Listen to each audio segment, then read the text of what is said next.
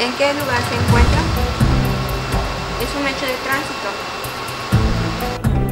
Ella es quien está detrás de la voz del control de mando. Su nombre es Olivia y hoy cuenta con 12 años portando este uniforme. Ante el llamado de una emergencia, es el primer contacto para que los elementos operativos lleguen al lugar.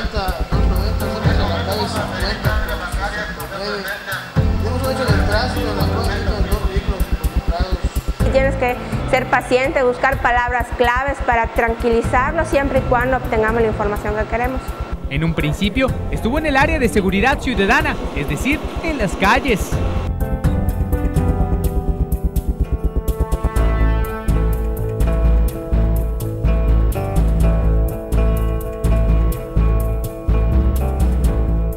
Ser su hijo, solicitó un cambio para poder estar con él más tiempo, algo que sus compañeros le reconocen.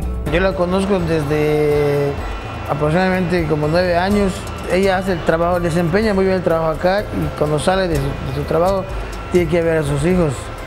El esfuerzo grande es educar al hijo, hacer su trabajo, desde muy temprano, llega a la base de la Policía Municipal para cumplir con sus labores, lugar donde a menudo recibe una visita especial.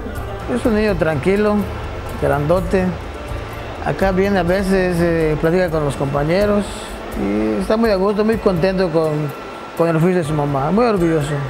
Olivia, además de ser oficial de la Corporación de Seguridad Municipal, mezcla el rol de ser padre y madre a la vez. Que mi amor de madre me dice tengo que poder y hay días que sientes que dices no y no por Dios, pero no, dices, me levantas porque te levantas y vas porque si tú no te aplicas, nadie se va a aplicar por tu hijo, porque en realidad así es, los hijos, las madres mayormente somos las que velamos por los hijos, ¿no?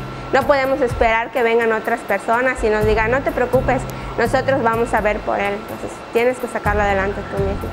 Reconoce que ser madre ha sido el mejor regalo que ha podido tener hijo ya se siente parte de los uniformados. De hecho, mi hijo conoce a la mayoría de los compañeros en que a veces me viene a ver o me viene a buscar, entonces sí, él se siente parte de la policía también.